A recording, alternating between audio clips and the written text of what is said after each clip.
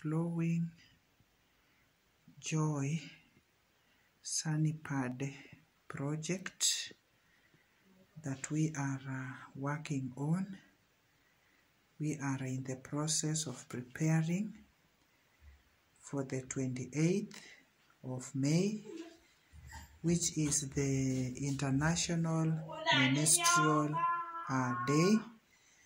We want to celebrate with girls in Kibichori uh, Secondary School, whom we shall be donating to the reusable sanitary uh, towels. What you see in the video, the blue are the bags to carry the towels in. Then the yellow uh, flowered are the shields uh, that will be used.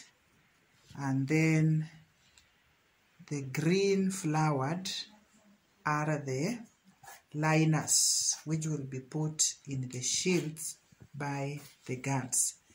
We believe each girl will be getting a shield and three liners which can take them for a day.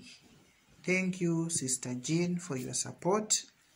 Thank you, Joy. Thank you, Tabitha. Thank you, Clara.